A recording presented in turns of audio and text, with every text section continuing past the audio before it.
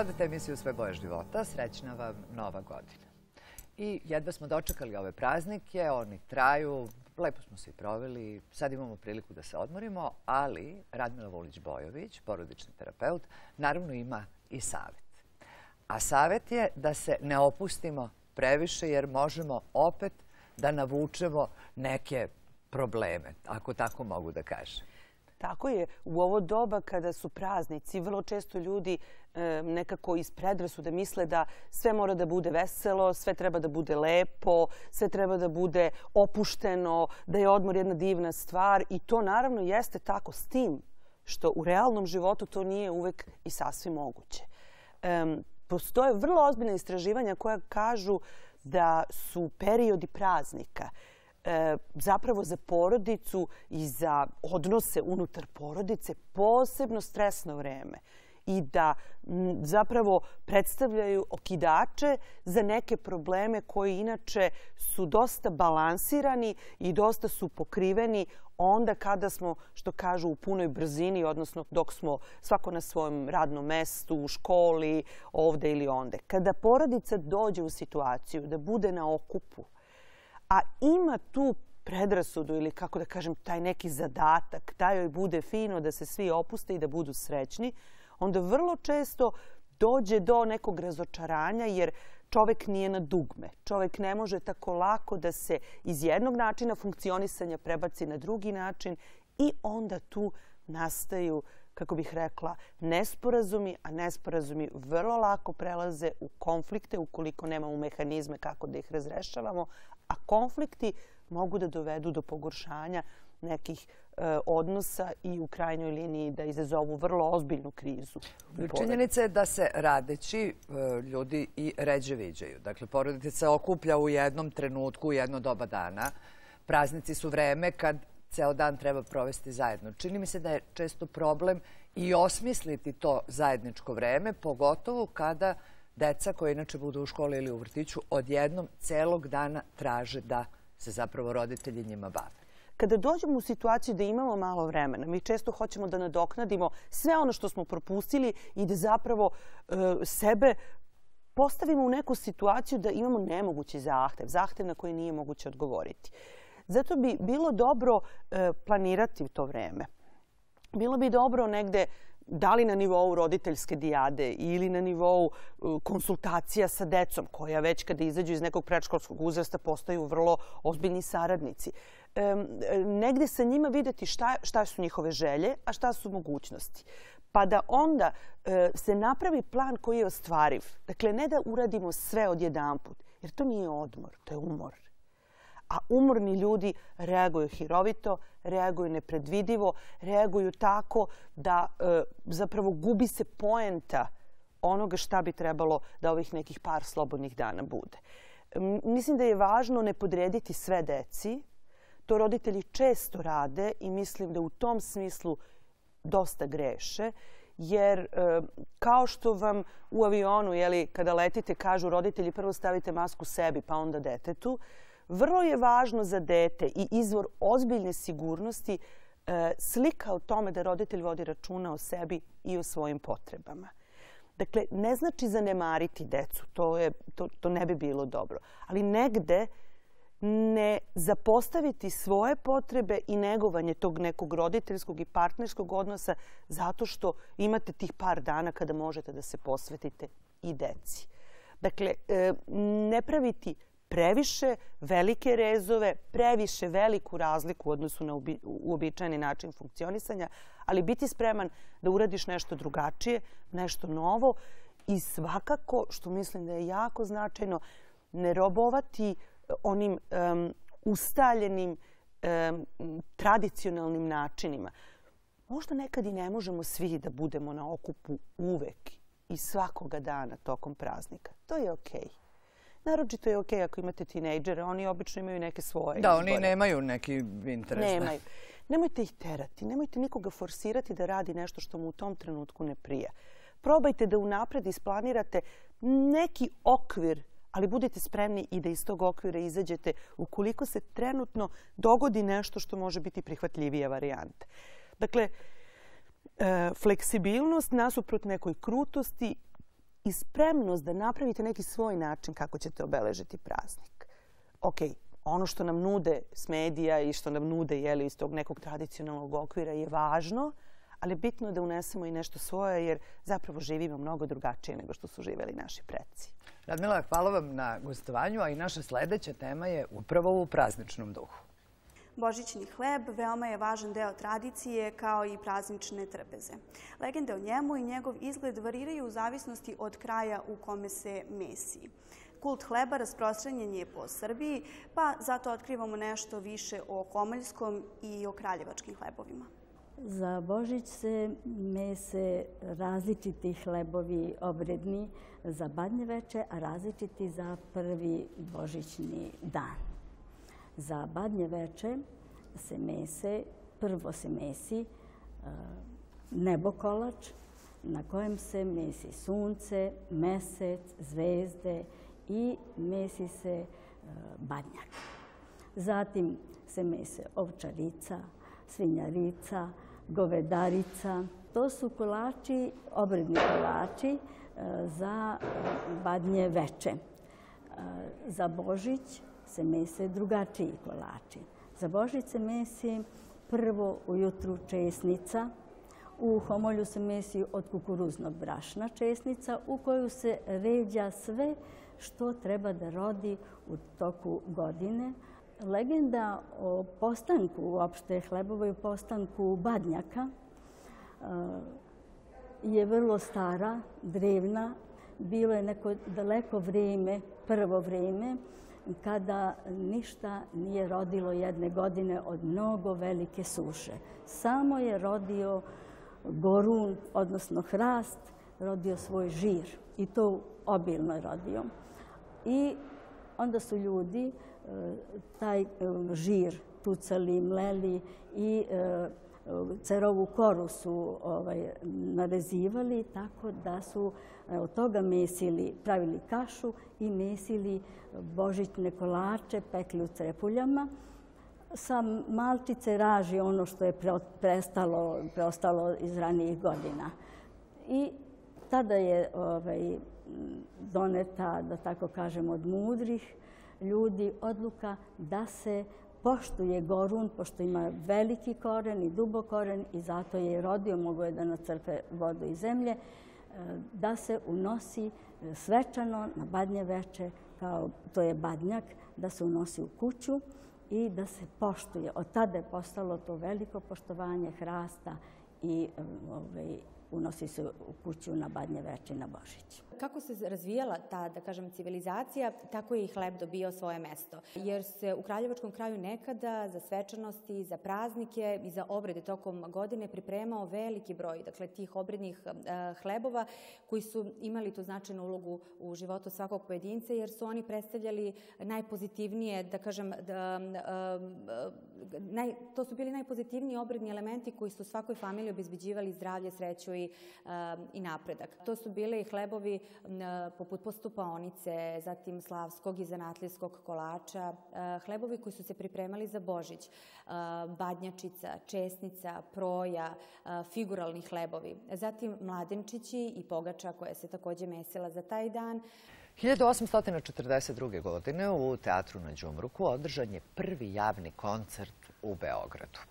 Organizovao ga je kapelnik kneza Miloša Josif Šlezinger.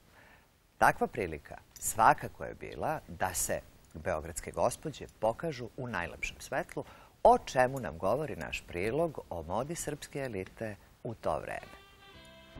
Srpsko građanstvo je uspelo kao i evropsko u tom periodu, znači 30. i 40. godina, najzad da formira ozbiljne salone. I u salonima da na poselima, na skupovima i na balovima počne da vodi jedan zanimljivi društveni život. Peter Mayer je evropski stil u svim umetnostima i prepoznatljiv je po jednom finom, slatkom ukusu i po jednoj naglašenoj samosvesti građanstva iz sredine 19. veka. Sve ti elementi Biedermajera su prisutni kod nas i mogu se prepoznati Danas su nekoliko antologijskih portreta. Jedan od njih i svakako najzanimljiviji, to je port, autoportret e, slikarke Katarine Ivanović, i na njoj se vidi sva lepota Biedermajerskog stila. Između ostalog, načina koji se oblikovala frizura, zatim lokne sa strane, onda uzak struk karakterističan za modu korseta, haljine koje se zvonasto šire i koji imaju dva ili tri sloja i završavaju se sa čipkom i potpuno otvorena gola ramena. Cela ta moda karakteristične za društveni život salona koji zahteva jednu građansku opuštenost, jednu građansku svest o svom društvenom statusu i to se možda najbolje vidi na portretu Anke Obrenović.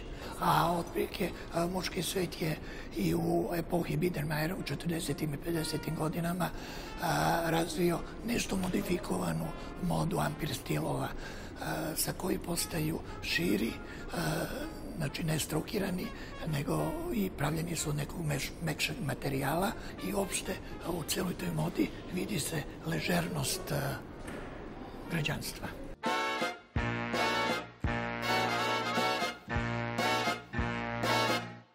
Još 1938. godine studio Metro Goldwyn Mayer svečano je objavio da će započeti snimanje novog mjuzikla Čarobnjak iz Oza. Najavljeno je ko će biti zvezda tog novog filma. 16-godišnja Judy Garland, devojka izuzetnih glasovnih sposobnosti. Ona je trebala da tumači ulogu siročeta, devojčice Doroti. Naravno, javnost nije ni slutila da je Judy Garland bila samo zamena. Predstavnici MGM-a su sakrili činjenicu da za novi poduhvat nisu mogli da pridobiju već proslavljenu glumicu, devojčicu Shirley Temple, šest godina mlađu. Shirley je vezivao neraskidivi ugovor sa studijom 20th Century Fox. Ubrzo se ispostavilo da je tokom snimanja koje je trajalo čak 23 nedelje mnogo toga išlo naopako. Treba imati na umu da u to vreme filmovi nisu snimani duže od 8 nedelja. Najpre glumac Buddy Ebsen, koji je tumačio Limenog, posle dve nedelje neopozivo napustio snimanje. Zašto? Smetala mu je maska. Nije mogao da diše jer je bio astmatičar. Margaret Hamilton, koja je igrala zapadnu vešticu, doslovce se zapalila. Opekotine su bile teške, a nesreća se dogodila dok je snimana jedna scena. Margaretina dublerka, Betty Danko, umalo nije poginula. Kada je trebalo da poleti na metli, njeno vozilo je jednostavno eksplodiralo. Ali najčudnija stvar desila se sa danas najpoznatijim delom ovog mjuzikla. Reč je o pesmi Iza duge, Harold Arlena. Pesmu je pevala Judy Garland. Ova balada obeležit će ne samo njen život, već i istoriju popularne muzike. Američki institut za film stavio je iza duge na prvo mesto liste najlepših pesama u američkim filmovima. Također, Američka nacionalna umetnička zadužbina kao i udruženje diskografa proglasilo je iza duge najlepšom pesmom 20. veka. Međutim, ta slavna pesma za dlaku se uvukla u film. Naime, u prvoj verziji balada je bila izbačena. Poštujući dogovor sa producentom, montažeri su se držali zadatog vremena. I budući da je film trajao duže nego što je trebalo, odlučili su da scenu u kojoj Judy peva iza duge oceku. Tek u posljednjem rediteljskom završnom rezu, u Final Cutu, pesma je vraćena. Osim što je promenila život Judy Garland i postala neka vrsta njene životne himne, izmenila je život Harolda Arlena, kao i pisca teksta Edgara Jipa Harburga. Iako je Harold Darlan tokom svog plodotvornog života napisao više od 500 pesama, njegovim najslavnijim delom smatra se upravo balada Over the Rainbow. Među Arlenove najpoznatije pesme spadaju Let's Fall in Love i Stormy Weather. Za pesmu Iza duge, zajedno sa piscem stihova Jipom Harburgom, nagrađen je Oskarom.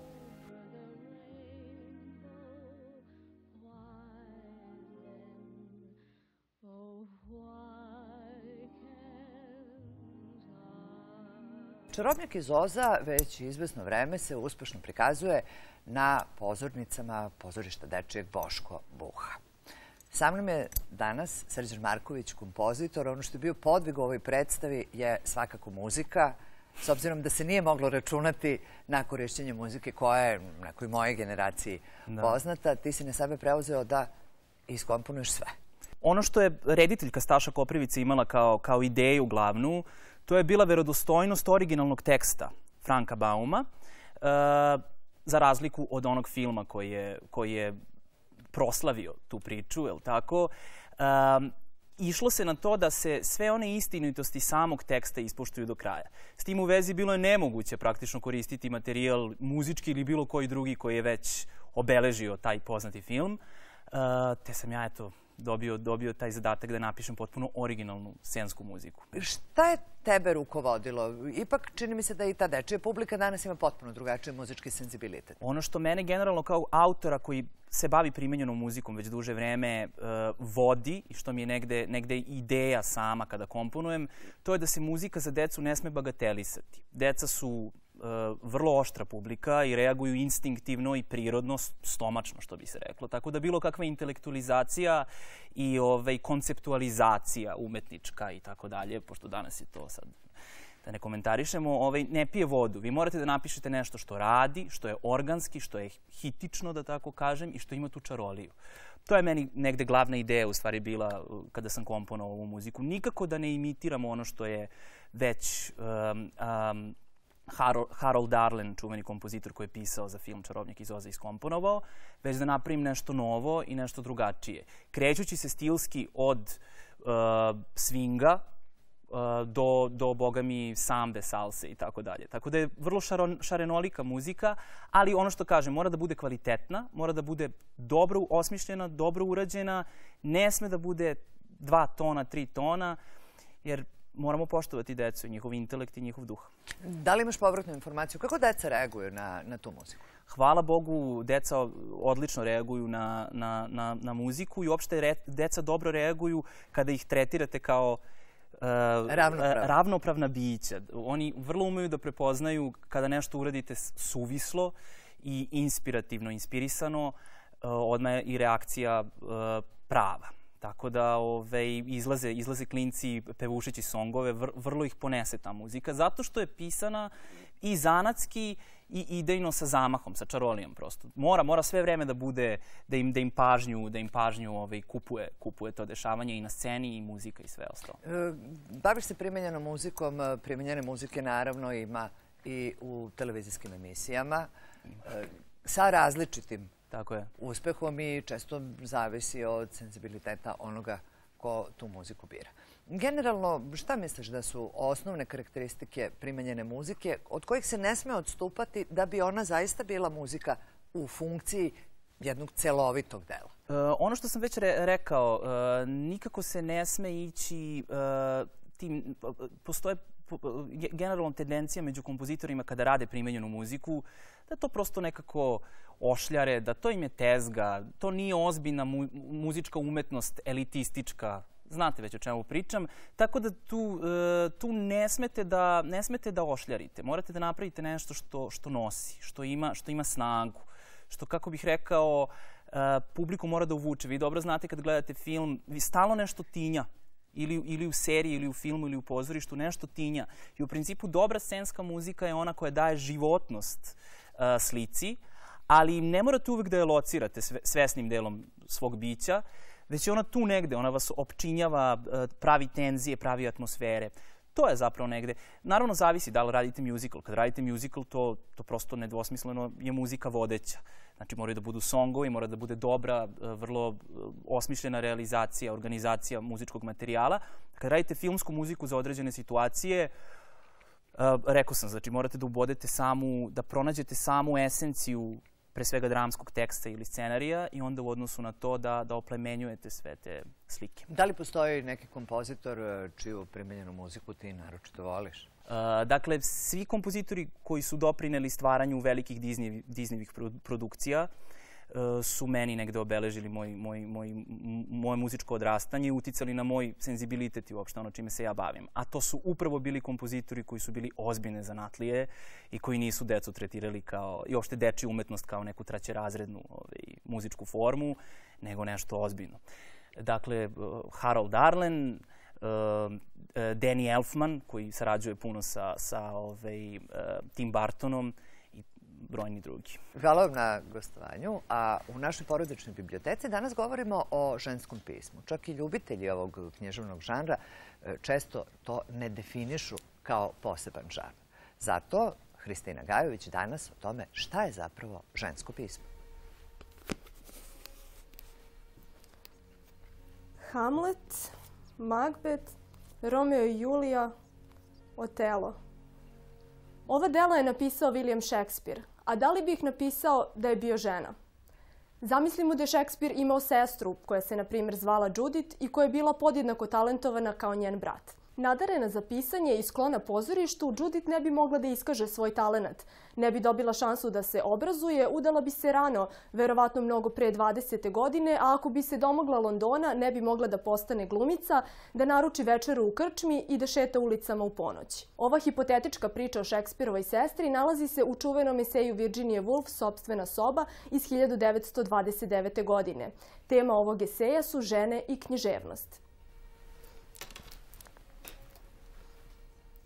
Naime, Virginia Woolf kaže da žena, da bi se bavila književnošću, mora imati svoj novac i sobstvenu sobu, odnosno mir u kome bi mogla da stvara. Virginia Woolf je uočila raskorak između idealne slike žene u književnosti i njenog položaja u realnom životu. U elizabetinskom periodu, na primjer, ženski likovi u književnosti su bili karakterni i izgovarali nadahnute reči, što je u potpunoj suprotnosti sa stvarnom ženom tog vremena, koja je jedva umela da čita i piše i bila je vlasništvo svog muža, koji je imao priznato pravo da je tuče. Esej Sobstvena soba pokreće važno pitanje, a to je pitanje tradicije ženske književnosti. Afra Ben, koja je živela u 17. veku, prva je žena koja je zarađivala od svog pisanja – Krajem 18. veka žene srednje klase su počele da pišu romane, a u 19. veku romane su pisale čuvene spisateljice poput sestara Bronte, Jane Austen i George Eliot. Odgovor na pitanje zašto su žene u 19. veku pisale isključivo romane, Virginia Woolf nalazi u domaćoj atmosferi u kojoj su žene stvarale. Žene srednje klase pisale su u zajedničkoj dnevnoj sobi i često bivale prekidane, stoga je roman bio daleko pogodnija forma za pisanje od poezije ili drame. Esej Sobstvena soba bio je od izuzetne važnosti za feminističko proučavanje književnosti nastalo u drugom talasu feminizma koji je počeo 60. godina 20. veka. Sa ovakvim proučavanjem književnosti otvorila su se i pitanja šta znači pisati kao žena i šta znači čitati kao žena. Feministička književna kritika zasniva se na razlici pola kao biološke datosti i roda koji predstavlja društvenu konstrukciju – To dobro opisuje rečenica Simone de Beauvoir da se ženom ne rađa, već se ženom postaje. Američka škola feminističke kritike nastala iz pokreta za oslobođenje žena skrenula je pažnju na stereotipne i ženomrzačke slike u okviru književnosti koji su pisali muškarci. Na primjer, slike džangrizave žene, žene žrtve, žene anđela. Polazeći od društvene stvarnosti, ova vrsta kritike traži njen izraz u književnosti, koja je shvaćena kao oruđe ideologije zato što reprodukuje rodne nejednakosti utemeljene u patrijarhalnom sistemu vrednosti. Druga struja kritike se pak interesuje za ženu kao pisca i proučava istoriju, teme, žanrove i strukturu književnosti koju su pisale žene i nastoji da rekonstruiše tradiciju ženske književnosti. Termin žensko pismo u medijima se često koristi kao sinonim za književnost koju pišu žene ili čak trivialnu književnost koju pišu žene. Ipak, žensko pismo u francuskoj feminističkoj kritici ne predstavlja nužno pisanje žena, već se odnosi na specifičan stil pisanja koji odlikuju fluidnost i fragmentarnost. Tako u žensko pismo spadaju i dela Jamesa Joycea i Stefana Mallarmea. Suština ženskog pisma je da podriva pojmove, pretpostavke i strukture patrijarhalnog diskursa. Od sobstvene sobe feministička kritika je prešla dug put. Sada se mnogo više govori o ženskom stvaralaštvu. Od 14 dobitnica Nobelove nagrade za književnost, više od pola ih je nagrađeno u prethodnih 25 godina. Među njima su Doris Lessing, Alice Munro i ovogodišnja dobitnica Svetlana Aleksijević. Kada govorimo o velikim spisateljicama, ne treba zaobići ni našu tradiciju, ni naše velike spisateljice. Zato ovu priču završavamo u legatu Isidore Sekulić. Ovo je bila emisija Sve boje života. Mi smo i sljedećeg ponedeljka na drugom kanalu RTS-a, naravno za vas, a umeđu vremenu i na YouTube-u gde možete da nas nađete na zvaničnom kanalu RTS. Doviđenja.